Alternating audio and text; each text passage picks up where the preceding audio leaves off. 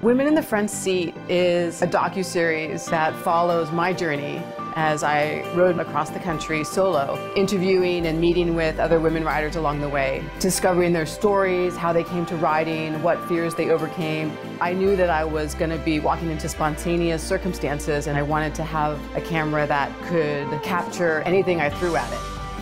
I wanted it to be bold and stylish, contrasty and saturated, full of exquisite, colorful motorcycles. And so I was looking for something that I could record 4K raw with 13 stops of latitude.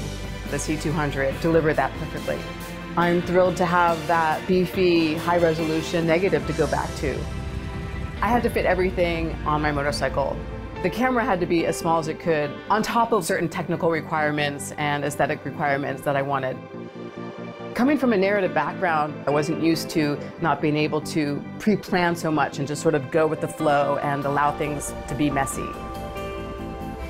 One of the things that I was coming upon was going indoors to outdoors and needing to change color temperature quickly and the iris quickly. All the different functions are right under your fingers. I found that to be very user-friendly.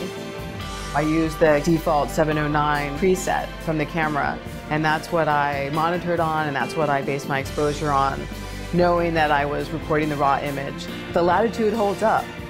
The combination of the artistry and the technical elements that the camera brought to the table was totally a dream. And as a single crew person riding a motorcycle across the country, it was the only camera for me.